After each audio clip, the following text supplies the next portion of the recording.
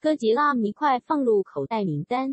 位于日本兵库县淡路岛公园内的动画主题乐园二次元之森 Nijinamori 日前宣布，哥吉拉博物馆于八月八日到八月三十一日开幕。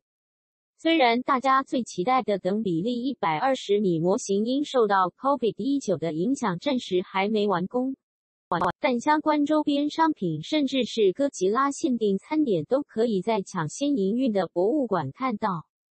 哥吉拉博物馆隶属于国立哥吉拉淡路岛研究中心主题园区。主题原本整个园区预定于二零二零年夏季开放，但因为受到 COVID-19 影响，导致主体建筑负一百二十米高的哥吉拉户外模型施工延期。园方也决定先开放博物馆部分，抚慰哥吉拉迷的心。在这次开放的博物馆展厅里。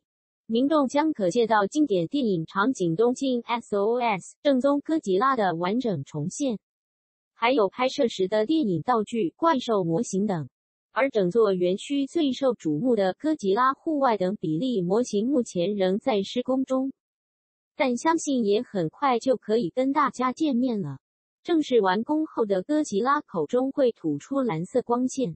让游客们可以拍下被光束照到的瞬间。Tilda 不止如此，还设有超长溜索，可以让大家滑进哥吉拉的大嘴巴，啊，看起来就超好玩的。贴心的园方还专程为十一岁以下的儿童设置了手作工作坊课程，让小朋友享受动手做的乐趣。玩累了，也有哥吉拉造型的轻食和咖喱饭可以享用。相信大家在开吃之前，手机就先吃饱了吧。伴手礼当然也是哥吉拉迷不能错过的，像这次推出的饮料杯造型就超酷炫的 Tilda。先来看看前导影片吧。左中括号，右中括号。开设期间：二零二零年八月八日到二零二零年八月三十一日。营业时间：十点到十八点，最后入场时间十七点。